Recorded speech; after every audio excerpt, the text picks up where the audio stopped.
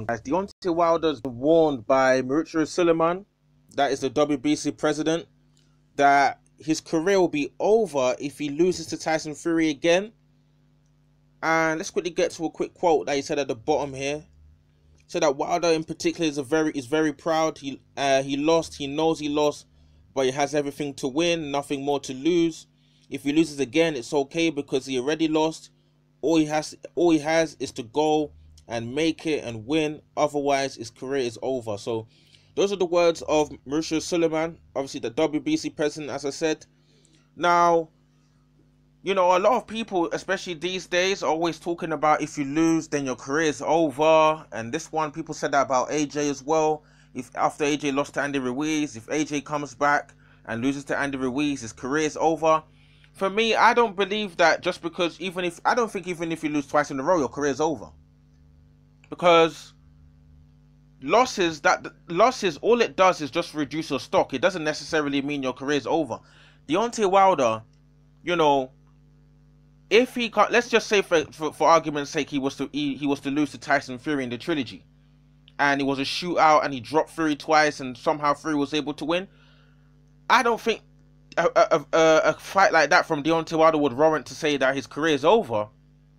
You know, I believe a loss, if he was to lose the same way that he lost in the rematch, you know, I think that would heavily reduce Deontay Wilder's stock.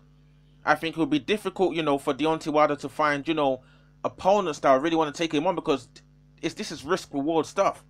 Deontay Wilder's still dangerous. Would a lot of these guys want to take on Deontay Wilder?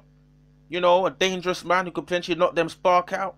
You know, with a reduced stock Deontay Wilder and a, a Deontay that's with no WBC belt. Would, would would regular guys want to, you know, take him on? Like let's say a Charles Martin, take him on, you know, without without uh, Deontay without having the, him having a belt. I highly doubt it. I think a lot of them will just want to stay on the course. You know, they would never want to use Deontay Wilder as a fight just to make money, especially if they're on course to you know rankings in the, for world titles in the IBF, WBO, WBA, and you know ABC titles. You know, I think it would be quite difficult unless somehow if Deontay Wilder, for example, was to lose, but then he put on a good show, let's say he dropped Fury twice, let's say he he delivered the performance like he did in the first fight, but then he ended up losing in a 12 rounds decision. I think Deontay Wilder will still have respect. Because at least they'll say he improved. He came back, he dropped Fury twice, and he, he a much better performance. I think his stock will still be, he'll go down, but it'll still be in decent tact compared to if he got knocked out in devastating fashion or he got beat like he did in the rematch. So I don't think that Deontay Wilder's career will be over.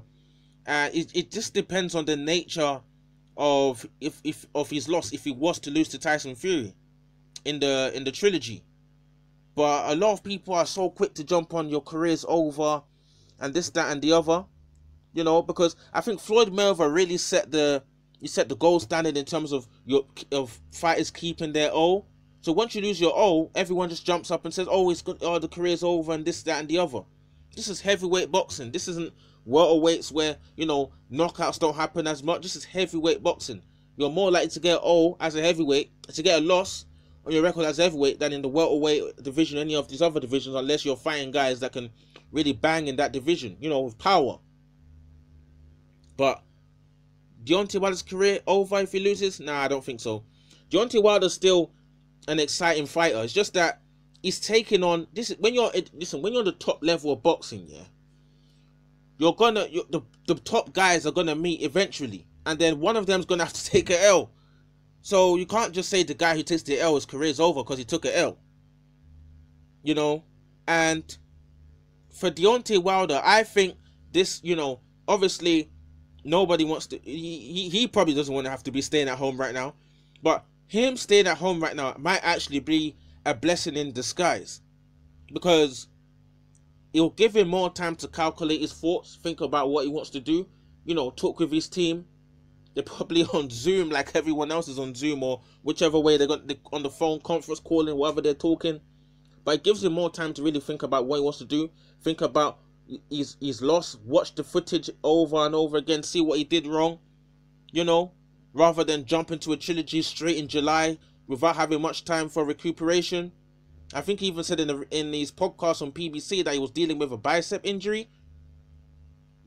they would been so quick to jump straight into a trilogy in July. It would have just been.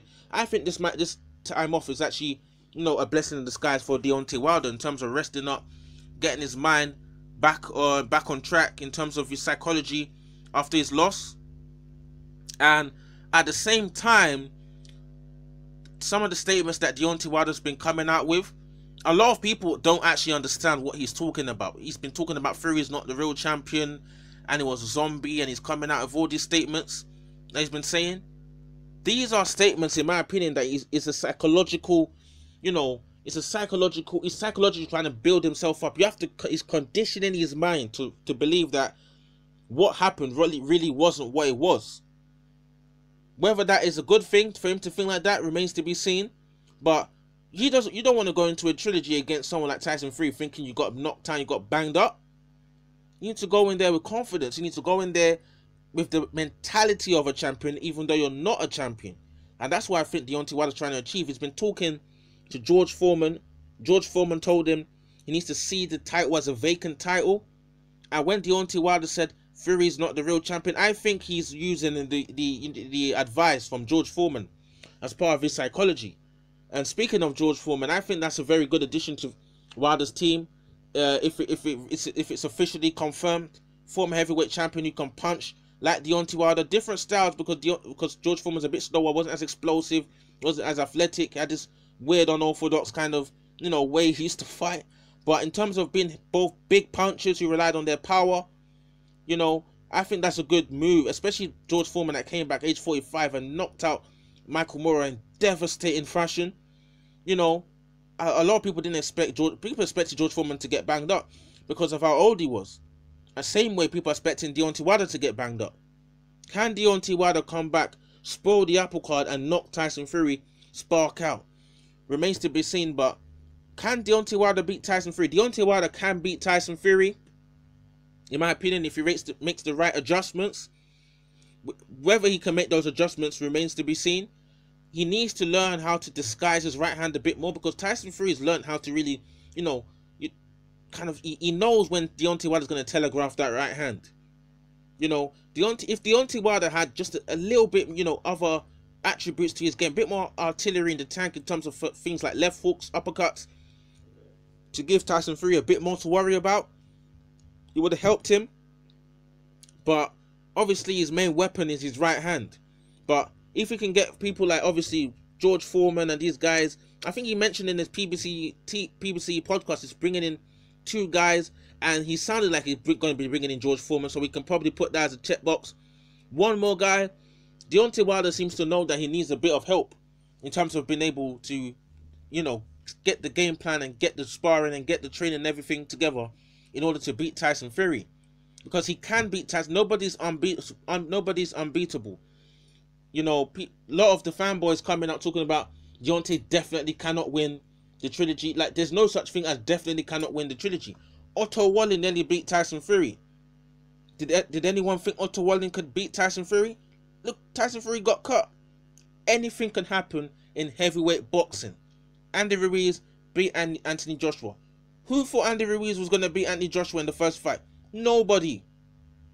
Nobody expected Andy Ruiz to beat Anthony Joshua. Who expected uh what what do you call it?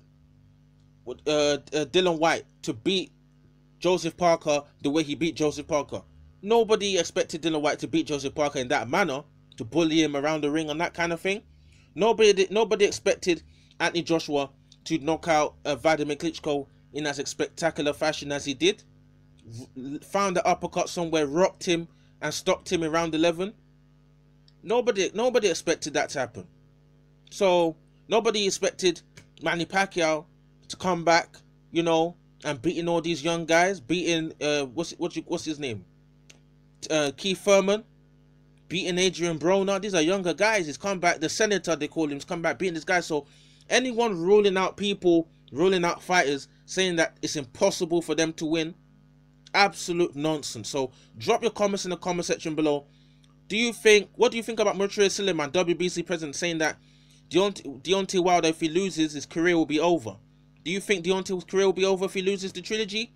Do you think Deontay Wilder will find that right hand, long range right hand, pinpoint Tyson through his chin, detonate his chin, and put him to sleep? Or do you think Tyson Fury will bring up bring the bring the rematch performance and, and finally beat Deontay Wilder, ending this saga? Drop your comments in the comment section below. What do you guys think, guys? Cool.